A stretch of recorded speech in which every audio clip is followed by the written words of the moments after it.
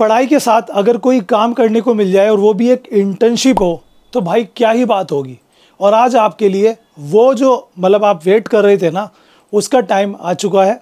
और ऐसी छोटी मोटी इंटर्नशिप नहीं गवर्नमेंट ऑफ़ इंडिया के अंडर में देश का सबसे बड़ा bank Reserve Bank of India की तरफ़ से मैं आज आप सबके लिए एक इंटर्नशिप लेके आ चुका हूँ। और याद रहे, ये इंटर्नशिप के लिए अप्लाई करने का एक लिमिटेड टाइम होता है। तो आप सब लोग इस वीडियो को बिल्कुल भी मिस ना करिए।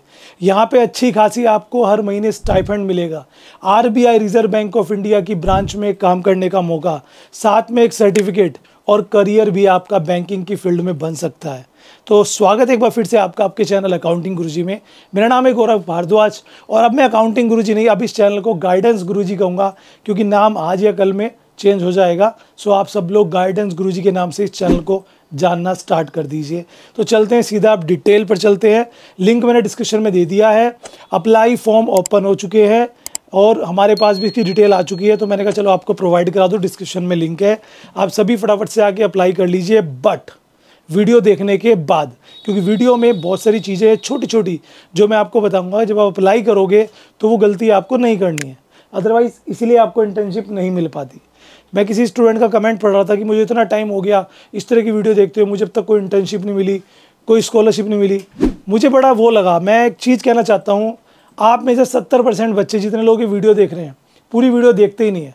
बीच में स्किप करके चले जाते हैं। उन्हें लगता है कि वो मेरे से ज़्यादा जानते हैं। हो सकता है आप मेरे से ज़्यादा जानते हो बट हो सकता है कि मैं भी आपको कुछ सिखा दूँ, कोई छोटी सी चीज़ जो रह गई है वो बता दूँ। इसलिए अगर आपको अप्लाई करना है तो वीडियो लास्ट तक देख के तब अप्लाई कीजिएगा। चलते सीधा होम स्क्रीन पर। जी हाँ ऑफिशियल आरबीआई की ऑफिशियल साइट पर मैं हूँ आर और यहाँ पे आप देख सकते हो कि रिज़र्व बैंक ऑफ़ इंडिया ने जी हाँ जो इंडिया का सेंट्रल बैंक है और दोनों तरह के स्टूडेंट्स के लिए जो इंडिया से हैं और जो आउट ऑफ़ इंडिया से हैं, उनके लिए भी यहाँ पर ये इंटर्नशिप है।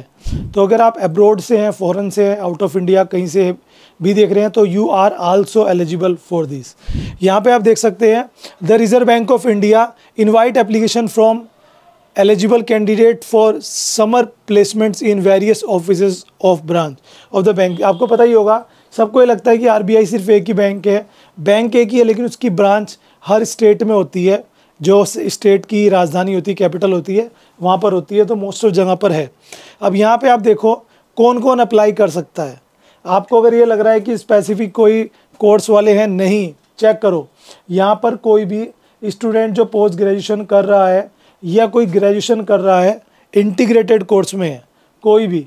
भाई मैनेजमेंट से हो स्टेटिक्स से हो लॉ से हो कॉमर्स से हो इकोनॉमिक्स से हो, या इकोनॉमेट्रिक से हो बैंकिंग से हो फिनेंस से हो, या फिर तीन साल का कोई full time professional law course कर रहा हो, जैसे कि एलएलबी कहीं से भी student who are currently in the penultimate years of their course can only apply for the summer placement ये जो मैं आपको इंटर्नशिप बता रहा हूँ it is called summer internship ये 2025 के लिए फॉर्म स्टार्ट हो गए हैं। और 15 दिसंबर इसकी लास्ट डेट है। ठीक है? और 15 अक्टूबर को स्टार्ट होते हैं हर साल। 15 दिसंबर तक जितने बच्चे अप्लाई करते हैं, उनमें से कैंडिडेट को शॉर्ट लिस्ट किया जाता है। और ये जो स्टार्ट होती है, कब होती है, वो मैं आपको आगे बताने वाला हूँ। ठीक है? ऐसा नहीं है कि आपको आपकी पढ़ाई के बीच में इंटर्नशिप करनी होगी। आप अपनी जो समर वेकेशंस होती हैं, उसमें भी कर सकते हैं। देख सकते हो, इन्होंने कहा है, आप बैंकिंग से हो कॉमर्स से हो एलएलबी से हो इकोनॉमिक्स से हो, और लॉ से हो मैनेजमेंट फ़ील्ड से हो, कोई बच्चा B B M B A कर रहा है। एलिजिबल है। कोई बी कॉम ऑनर्स कर रहा है एलिजिबल है।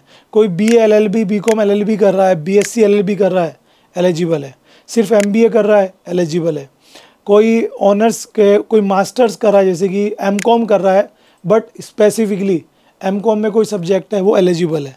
और भी प्रोफेशनल कोर्स जो आप कर रहे हो, इस फ़ील्ड से रिलेटेड वो एलिजिबल है।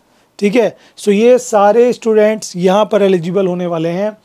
Eligible student should apply for summer placement through online web application form अब यहाँ पे डेट चेक करो 15 अक्टूबर से 15 December is the last date to be apply for the previous year of internship starting from April of next year ये जो आपकी internship start होगी, ये एक अप्रैल या पंद्रह अप्रैल, जो भी अप्रैल की डेट रहेगी, उसमें 2025 में स्टार्ट होने वाली है। तो यहाँ पे चार पाँच महीने पहले ही जो है वो फॉर्म स्टार्ट हो जाते हैं फिलिंग के लिए। सो आप सब भी फटाफट से अप्लाई कर लेना। Because the last date is to be applies 15 December.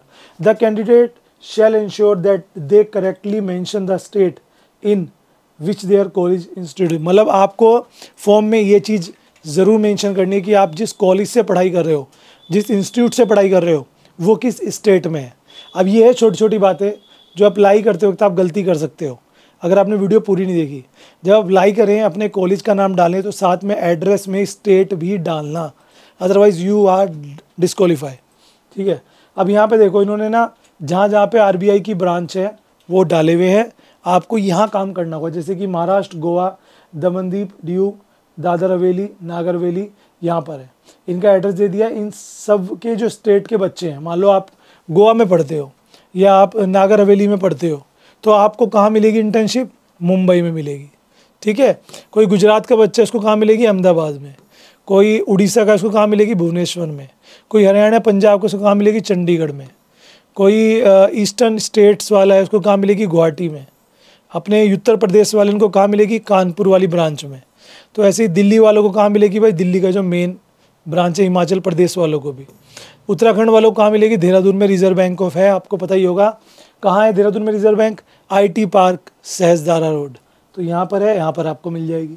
अभी जो इंटर्नशिप है ये इंटर्नशिप के लिए कुछ बातें इन्होंने स्पेशली लिख दी है। यहाँ पर जैसे online application which incomplete in any respect such as photograph नहीं है सिग्नेचर नहीं है कॉलेज का ऑथेंटिकेशन लेटर नहीं है। आप जिस कॉलेज से पढ़ाई कर रहे हो, वहाँ से आपको परमिशन लेटर लाना होगा, जिसे हम ऑथेंटिकेशन लेटर बोलते हैं, जिसमें कॉलेज बताएगा कि आप यहाँ पे काम कर सकते हैं। ठीक है? और वो आप लेके आएँगे तो आपको यहाँ पर वो लगाना होगा फ़ोटो क्लिक करके या पी फॉर्म में। बोनाफाइड सर्टिफिकेट बोनाफाइड सर्टिफिकेट क्या होता है? जन्म प्रमाण पत्र या तो बना हुआ हो नहीं तो टेंथ की मार्कशीट लगा सकते हो इसकी जगह पर। पहले ही बता दूँ। ठीक है? बाकी candidate are advise to their own interest to apply जो भी आपका इंटरेस्ट है वो आप चूज़ करेंगे।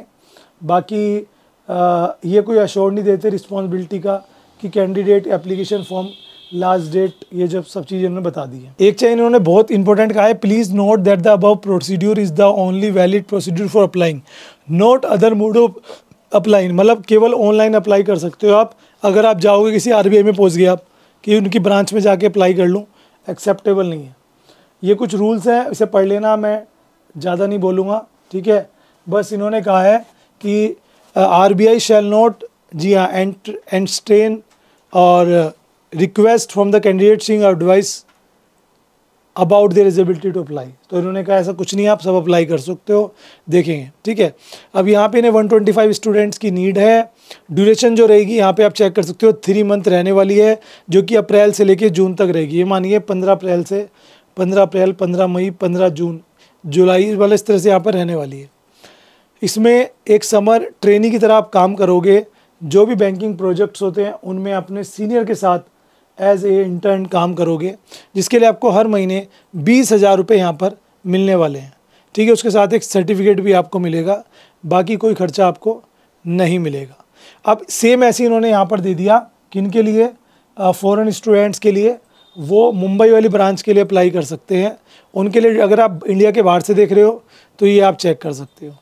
अब अप्लाई के लिए कहाँ? ये फॉर्म दे रखा है लिंक टू अप्लाई इस पर जैसे क्लिक करोगे, ये पेज ओपन हो जाएगा। लिंक मैंने डिस्क्रिप्शन में दे दिया है। सब बातें लिखी हुई हैं, पंद्रह दिसंबर लास्ट डेट है, पंद्रह दिसंबर 2024 चेक करो। इन्होंने कहा है last date of receipt application पंद्रह दिसंबर 2024 लास्ट डेट है। अप्लाई कर लेना फटाफट से। एक इन्होंने कहा है कि जो character only characters and numbers are allowed मतलब फॉर्म भरते वक्त कोई भी सिम्बल्स यूज़ मत कर लेना, कहीं पे डैश लगा दो या कुछ आप कोमा लगा दो। कोमा लगा सकते हो बट हाइफन नहीं लगा सकते, ऐसा कुछ भी मत यूज़ करना। ठीक है? और इन्होंने कहा है, अगर बोनाफाइड सर्टिफिकेट आप किसी इंस्टीट्यूट से लेकर आ रहे हो तो उनके हेड ऑफ़ द इंस्टीट्यूशन की मोहर ज़रूर चाहिए। बाकी यहाँ पे नेम आएगा इंस्टीट्यूशन का एड्रेस सिटी और यहाँ पे स्टेट ये ज़रूर मैंडेटरी है। ठीक है, बाकी एड्रेस आएगा आपका पर्सनल डिटेल आ जाएगी। एजुकेशनल में आपको यहाँ पर एचएससी बोलते हैं। जी हाँ देख सकते हो ट्वेल्थ को एस बोलते हैं टेंथ को। उसके बाद ग्रेजुएशन पोस्ट ग्रेजुएशन जो भी आप सेलेक्ट कर सकते हैं। उसके बाद यहाँ पर आपको करंट बींग पोस्ट यहाँ पे, अब ये ध्यान देने वाली बात है। To be fill only if post graduation is complete ये उनके लिए है, जिनकी पोस्ट ग्रेजुएशन कंप्लीट हो चुकी है। जिनकी नहीं हुई है, उनको नहीं बढ़ना है, ठीक है? एक फ़ोटोग्राफ यहाँ पे अपलोड करनी है 500 के बी से कम की। एक सिग्नेचर किसी पेपर पे करके फ़ोटो क्लिक करके अपलोड कर देना। डिजिटल सिग्नेचर इस तरह से होते हैं। प्लेस और बोनाफाइड सर्टिफिकेट यहाँ अपलोड कर देना। यहाँ पे कोड डालना और सबमिट कर देना। उसके बाद वेट करना रिज़ल्ट की। रिज़ल्ट आपको इसी होम पेज पर दिख जाएगा। यहाँ पर समर प्लेसमेंट्स पर क्लिक करोगे तो ये आ गया ना।